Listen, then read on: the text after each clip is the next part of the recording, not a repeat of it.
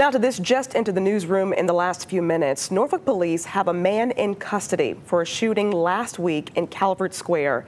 Last Wednesday, a 50-year-old woman was shot during a fight between two men on East Olney Road.